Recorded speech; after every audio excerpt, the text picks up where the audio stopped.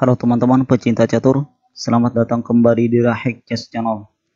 Kali ini saya akan membagikan sebuah partai antara Michael Tal sebagai hitam melawan Boris Spassky pada tanggal 24 April 1979 di Montreal, Kanada. Ya, di sini Spassky memulai dengan D4, Tal membalasnya dengan kuda F6, C4, E6, kuda F3, tal B6, Queen's Indian Defense. Sebuah variasi yang lebih memfokuskan serangan di sayap menteri. Selanjutnya Spassky E3, gajah B7. Gajah D3, D5, menantang pion C.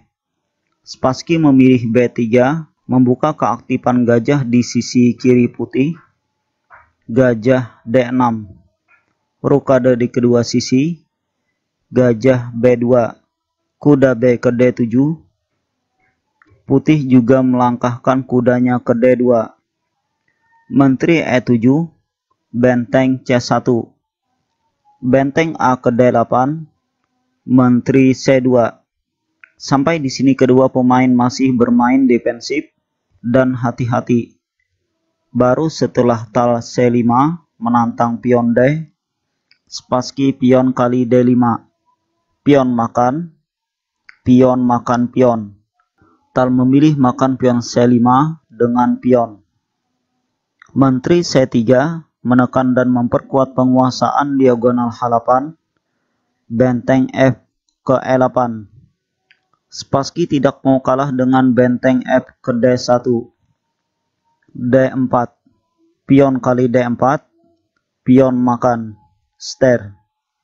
Di sini Spassky tidak makan pion, misalnya dengan kuda, tapi lebih memilih menteri ke A5. Lalu tal kuda E5 menantang kuda putih, sekalian mengancam gajah. Kuda makan, gajah makan kuda.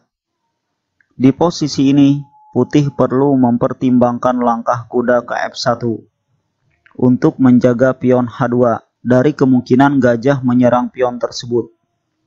Akan tetapi di sini, Spassky lebih memilih melangkahkan kudanya ke C4, mengancam gajah. Dan Tal benteng D5, ster.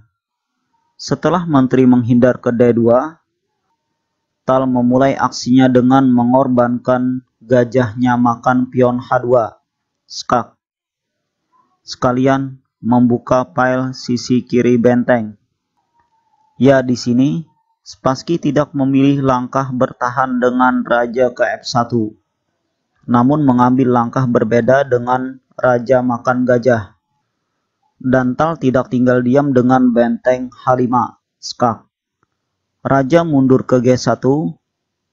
Setelah tal kuda G4, Boris Spassky menyerah. Di sini raja tidak bisa ke F1 karena benteng H1 skakmat. Atau juga pion G3 mencegah menteri ke H4. Ini pun skakmat. Jadi di posisi ini jika ingin bertahan sementara adalah dengan menteri ke F4 mengancam kuda. Tapi ini pun hanya untuk menunda kekalahan yang pasti. Karena setelah Menteri H4 menjaga kuda, sekalian ancaman skakmat di H1, langkah-langkah yang tersisa hanya untuk memperlambat skakmat, tapi tidak untuk mencegahnya. Ya, jadi inilah salah satu partai Natal ketika melawan Boris Spassky. Sekian video dari saya. Kalau teman-teman menyukai video ini silahkan share ke teman-teman yang lain. Terima kasih atas like dan komentarnya. Salam pecinta catur.